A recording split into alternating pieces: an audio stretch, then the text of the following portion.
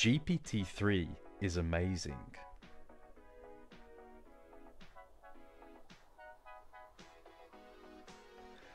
But how can you use it in your business or university? DataServe is a self-service portal, virtual agent and automation engine. It integrates with any system, simplifying access to information and services for your customers. Hi everyone, I'm Matt from the DataServe product team. And I'm Amy, the DataServe virtual agent. In this video, Amy and I are going to demonstrate how you can use DataServe to bring the power of GPT-3 to your user community. But before we do that, you might be wondering what DataServe is. Well, it's simple. It's a no-code search engine, automation builder, and virtual agent that can be used by any organization with any system. Ordinarily, our customers use DataServe as the front end to many systems and knowledge sources. So perhaps it sits on top of various service management and sales systems like ServiceNow, Remedyforce, Jira Service Desk, as well as systems like Salesforce, Pega, and Planon. This provides users with a single web page to be able to create incidents, service requests, opportunities, and indeed any record they need to in those connected systems. DataServe also sits on top of knowledge bases and document repositories, such as SharePoint and Confluence. And this provides user communities with a single search engine to find anything they're looking for, such as self-help articles, company policies, news, and events. And because large enterprises traditionally rely on many systems to conduct their business, this complicates self-service. DataServe simplifies access to information, raising self-service adoption, and therefore reducing the strain on frontline teams. Now on to GPT-3. The use cases are pretty endless, but I'm going to focus on a few, mainly the ability to summarize, translate, and ask questions about documents and data. I'm going to start by searching for Microsoft Teams. Perhaps I'm looking for more information about how to use Microsoft Teams, or I'm looking to expand its capability within my organization.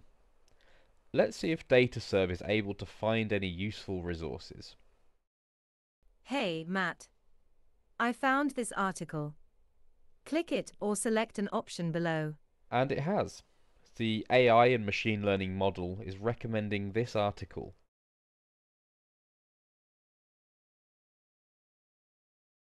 And you can see below all the supported AI actions.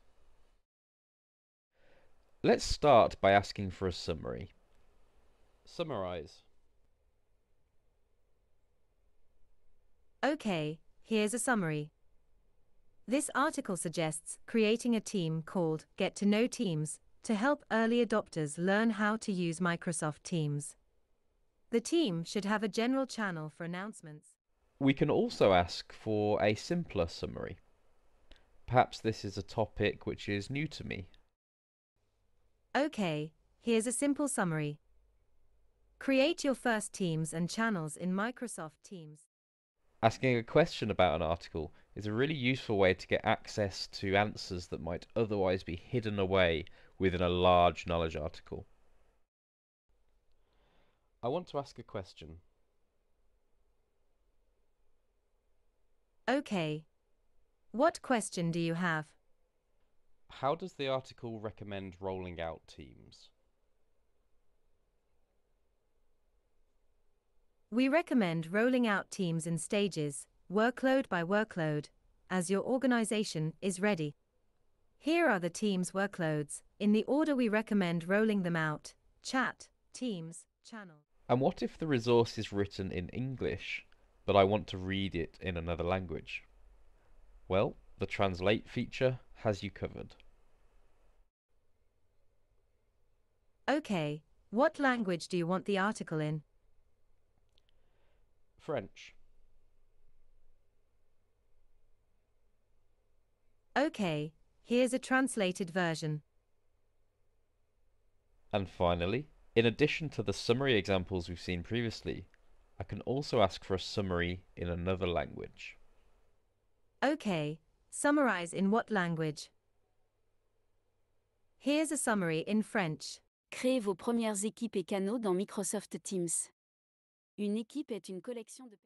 These are just a selection of some of the new AI features we've been adding to DataServe. Make sure you subscribe to our channel to keep up to date with our roadmap and new features.